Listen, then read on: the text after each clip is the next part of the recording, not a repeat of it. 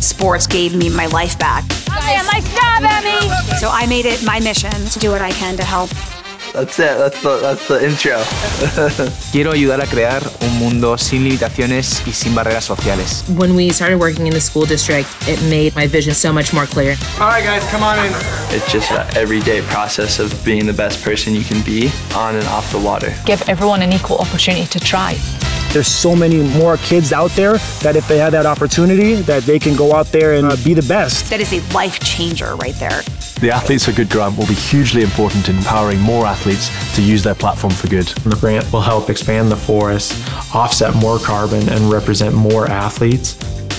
We need to safeguard that future for ourselves and for the people after us. That was a good one. The Athletes for Good grant will contribute to providing five multi-sport days for the adaptive sports community. Un accompagnement de 25 familles supplémentaires dans, dans tout ce procédé d'harcèlement. Euh. Di rendere accessibile il nuoto a chiunque, in particolare persone con disabilità. Također u izgradnji sportskih igrališta u slabije razvijenim područjima u cijeloj Hrvatskoj. It would be a really cool thing. Forcément, je remercie euh, le programme Athlete for Good. ¿Por qué no decirlo? Creo que ha cambiado muchas vidas. I'm getting hyped up.